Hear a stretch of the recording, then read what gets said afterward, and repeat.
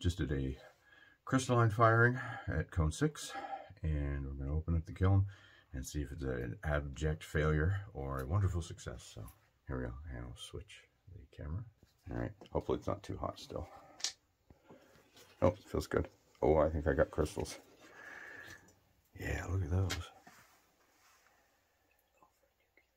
Over nucleated, but these are good.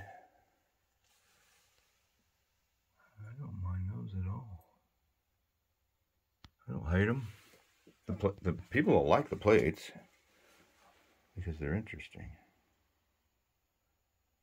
Cool. So that means that it needed to wash for a little longer before probably holding, I probably needed to hold it for a little longer so I can get rid of some of these nucleuses. But that's still not bad because you know these guys I think this one goes there once it, it shrink just enough. So once that's fired, that'll be a black lid will go on top of that one. Cool. Not bad. Okay, here's everybody out. Oof! Now this was a simple copper carbonate and it's a little too light as far as its color, but it's got a nice field. Also, there's some crazing going on there now.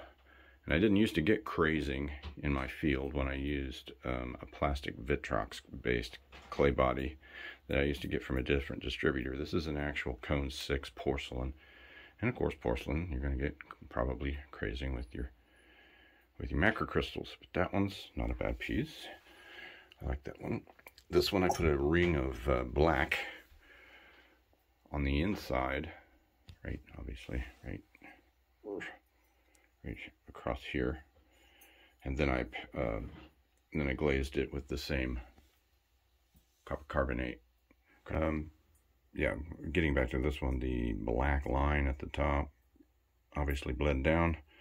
It's got a really good field, which means mm, bigger background. We're still getting crazing right there, but that's okay. This one, you can see, has some field. This is a manganese based glaze. And there's still a little crazing in there. and will continue to craze. Uh, they, we call this over-nucleated, which means a lot of the crystals didn't burn out before they started growing, so it just turns into this giant field of, of crystals. And this one doesn't have any field that I can see. There's some, a little bit. It's got a little bump. I see that little ring right there. That's kind of cool. Uh, yeah, but this is actually cone 6, so that's really impressive. And these, of course, will get their little black lids. But those lids are going to be fired in the uh, standard cone 6 firing. I'm not going to use a crystalline firing because I don't know how well that black will be sustained. This one has a nice bump on that big crystal there. Yeah, these uh, these aren't exactly how I wanted them to come out, but they are impressive for a cone 6 crystalline firing. Yep. And I just have to knock the catchers off and grind the bottoms. More later. I'll show them to you after they're completely cleaned up. Right, this is what they ended up looking like with their bases taken off. And that's ground with a lapidary belt.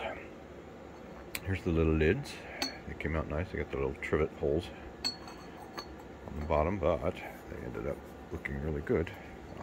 It's hard to do with one hand. I'm gonna drop him. There's that one. This one. Lid on him. The bases look pretty good. Like I said, not bad for a cone 6 and a little over crystalled, but we don't care because they look really nice. And some people like that. I like that sometimes. Hmm. Cone 6 crystals.